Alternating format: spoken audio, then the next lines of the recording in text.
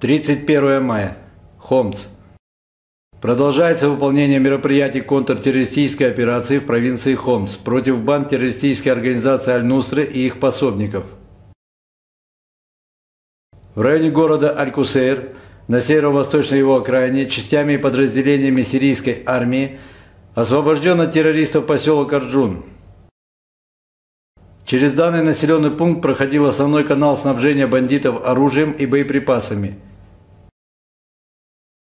а также он занимал стратегически важное место в обороне боевиков и считался у них неприступной крепостью. Боевики даже разрушили единственный мост, соединяющий поселок с трассой. В ходе проверки поселка изъяты крупные склады с военным имуществом, а также обнаружена разветвленная сеть подземных ходов, блиндажей и система окопов полный профиль, сооруженный по всем правилам фортификации – что говорит об участии в этом иностранных военных специалистов.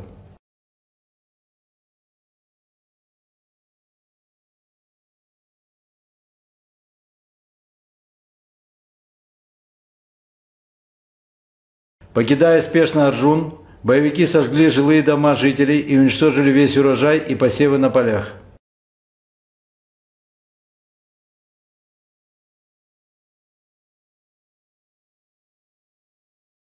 Агентство «ANNA News», Марат Мусин, Василий Павлов, Игорь Надыршин, Виктор Кузнецов, Сирия.